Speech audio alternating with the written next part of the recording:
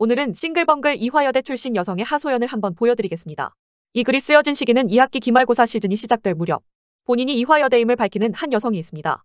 이 여성은 여성시대에서 아주 커다란 파벌 싸움을 일으키는 글을 작성하게 되는데 시험 기간인데 여대 온 거 존나게 후회된다라는 글입니다.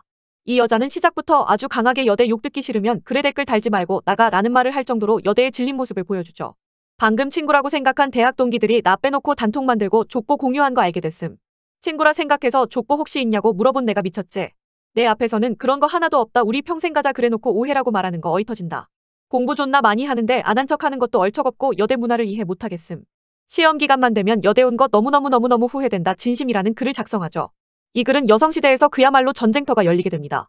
제 영상 중 조회수 5만이 나온 영상의 댓글이 500개에서 300개 정도가 달리는데 조회수가 저 정도밖에 안 되는데 달려있는 댓글을 보시죠.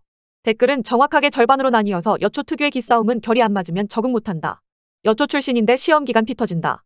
나 괴롭히던 사람들은 다 여자였음 뒤에서 꼽주고 욕하고 맞아 회사에서 나 왕따 시키던 거 다 여자였고 오히려 남자들이 나 위로해줌 그래도 한남들은 싫지만 이라는 식으로 여대에 질려버린 여자들이 있는가 하면 성적 경쟁 심한 건 여대라서 그런 게 아니라 공학도 똑같다 너무 답답하다. 남녀공학도 똑같다. 한국 남자들 남초 회사가 더 심하다라는 말을 하는 쪽이 절반 있죠. 진짜 농담하는 게 아니라 마치 고지전을 하듯 그녀들은 강하게 대립하며 여저결을 두고 싸우고 있는데 여대 나와본 사람만 아는 건데 여고 여대 나왔는데 그때로 돌아가라면 안 돌아감. 이라는 글 쓴 여시의 말에 공감하는 댓글에 여대 나왔는데 나는 동기들이랑 행복했다. 라는 말을 하면서 정확하게 대립을 하며 난 여대 간 거 만족하는 거 뭔 소리야 똥통여대 나온 본인을 탓하라.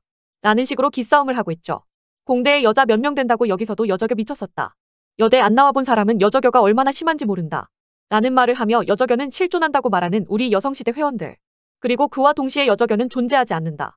여자들이 경쟁이 심한 건 맞지만 여저겨로 연결짓는 건 한심하다. 라는 식으로 여저견은 없는 내용이라 욕하는 여성들.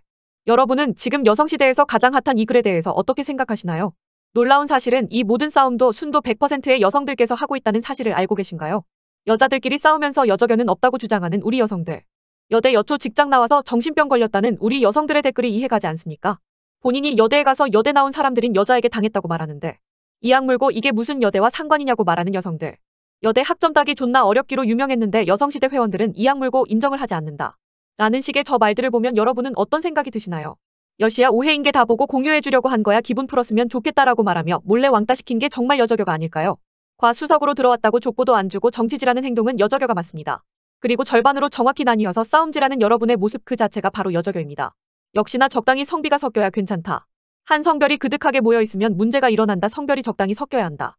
라는 우리 여성시대 회원들은 본인들 사이트가 여성들만 모이는 사이트라는 걸 모르고 있을까요? 본인들 얼굴에 시원하게 침을 뱉는 모습이란 걸 부디 알아차리길 바라겠습니다. 여성시대에서 지금까지 난리난 글 공유해드렸습니다. 영상 여기서 마치도록 하죠. 여러분의 구독과 좋아요는 여대여 초직장 나온 은희 PTSD 치료에 커다란 도움이 됩니다. 오늘의 한 줄 요약. 한 성별이 그득하게 모여 있으면 문제가 일어난다.